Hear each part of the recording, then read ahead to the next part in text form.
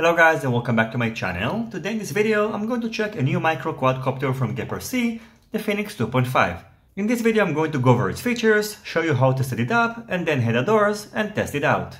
The Phoenix is available in two versions, so you can either get a bind and fly version which comes with an FrSky XM Plus receiver or you can get a plug and play version which doesn't come with any receiver so you will need to provide your own one. The price difference is $20, which is more than the price of the FrSky XM Plus receiver. However, it comes already pre-installed inside the quadcopter, so it saves you some time and trouble. Inside the box, you can find this short instructions manual. You can access the full one online, and I'm going to put a link to it in the description box down below. Since this is the bind and fly version, we also got the instructions manual for the FrSky XM Plus receiver. We get in also some stickers, then the quadcopter, Two sets of Gemfan Flash 2540 propellers. These are probably the best 2.5 inch propellers and I highly recommend them. On the bottom we can find some accessories including this OSD control board for the Runcam Micro Swift camera, a spare linear antenna with an IPX connector, two Velcro battery straps which in my opinion are not so great and I'm not going to use them. If you haven't done so already, I highly recommend to try this battery strap from RJX. I've used it for a couple of months and I'm really impressed with its quality. We're getting these two plastic straws that are going to protect the antennas of the receiver, a bag with screws that are going to hold the propellers, some wires, and finally a bag with three anti-skid battery stickers and also these two rubber ends that are going to be placed on top of the antenna protectors. So this is the Phoenix 2.5. First of all, I can tell you that the build quality looks pretty impressive. On the center we can find the GEPRC stable only one stack. I've actually reviewed it separately and also featured it on the build video. However, this is the 20 ampere version and this one is the 12 ampere version. So on the bottom we can find a 4-in-1 12 ampere ESC that supports up to D-Shot 600. Then on the center an Omnibus F4 flight controller that comes pre-flashed with Betaflight 3.2.5 and finally on the top a VTX with a selectable output strength of 25 100 and 200 milliwatt. I can tell you that this is a new version because this version didn't feature smart audio and I've already tested it and this VTX supports smart audio so changing the output strength and also selecting the frequency is much easier. Since this is the bind and fly version, I've got also the FrSky XM Plus on top. Unfortunately, it doesn't support RSSI, and I really think that Gepper should have included an FrSky RXSR receiver, which is, in my opinion, a little bit better. And since the price difference is $20, I think that it might be a better option if you don't mind installing your own receiver to save the $20 and get an FrSky RXSR receiver separately. On the front we can find a Runcam Micro Swift camera, which is well protected by these two aluminum side plates. As far as I can tell you, this cage is very good and is going to protect the camera lens pretty well. As for motors, this quadcopter is using the GEPRC SpeedX 1106 4500 kV motors. So these are relatively low kV motors, which are going to enable you to use 4S batteries with this quadcopter.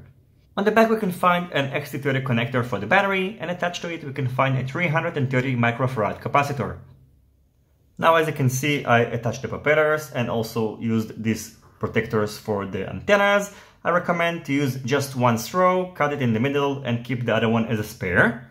The weight of the quadcopter is 92.3 grams and in terms of dimensions, the thickness of the bottom plate is 3 millimeters, the thickness of the top plate is 2 millimeters, and the thickness of the side plates that are protecting the camera is about 2.8 millimeters. It's made out of aluminum and as I mentioned before it looks very durable. In addition, the distance between motor to motor is about 125 millimeters and the distance between the front motors to the back ones is about 9 centimeters. The distance between the back two motors is 9 centimeters as well, so this quadcopter is using a true X-frame. So after this short introduction, the next thing I'm going to do is to go over Betaflight configuration and then head outdoors and test it with 2S, 3S and 4S LiPo batteries.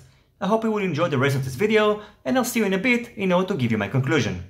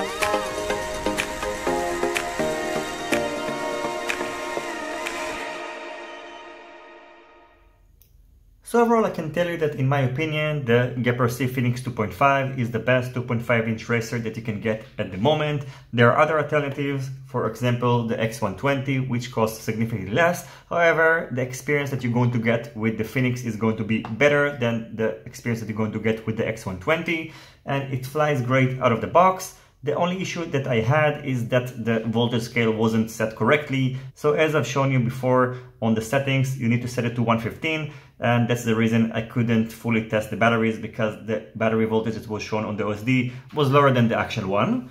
In addition, I also crashed it a few times. The only damage that, that, I had is that I bent one of the propellers and also I lost one of the antenna protectors. And as far as I can tell, this is a very durable quadcopter. In terms of flight time, I couldn't really test it because I had issues with the voltage scale, but I can estimate that you can get about 4 minutes of flight time using a 4S 450 mAh LiPo battery. And of course, it depends on your flight characteristics. If you're going to go full throttle all the time, it's going to probably get you only 1 minute of flight time. And if you're just going to cruise around, you can get about 4 minutes of flight time. The micro HD action camera that I used on the last flight footage was the Firefly action camera. I used it both with 2S and 4S LiPo batteries and it didn't perform great with 2S so I recommend that if you are considering using a micro HD action camera you should use a 4S LiPo battery. Now even after mounting the Firefly camera and using 4S batteries, the motor stayed pretty cool. The only downside of this quadcopter is that you're not going to get RSSI from the FrSky XM Plus receiver unless you're going to update its firmware. And as I mentioned earlier in the video, I think it's going to be a better choice to buy the plug and fly version and get a separate FrSky RXSR receiver and install it yourself I think that it's important to get the RSSI feedback, which is also going to help you to find the quadcopter in case it's going to get lost, of course, when the battery is still connected. I didn't mention it, but you're also getting a small buzzer, so this is important. So if you're going to lose it on the grass, this small buzzer will help you to find the quadcopter. And the second downside is that this camera is a little bit outdated. So if you think about an upgrade, I suggest getting another camera the Micro Swift is a good camera, but it's a little bit old and there are better cameras in the market. As always, I thank you for watching my video. I hope you enjoyed it and you find it useful. If you have any questions about the GEPRC Phoenix 2.5, feel free to ask it in the comment section down below. Don't forget to leave a thumbs up if you like this video and consider subscribing to my channel and hitting the notification bell if you're not already subscribed. See you on my next videos and goodbye.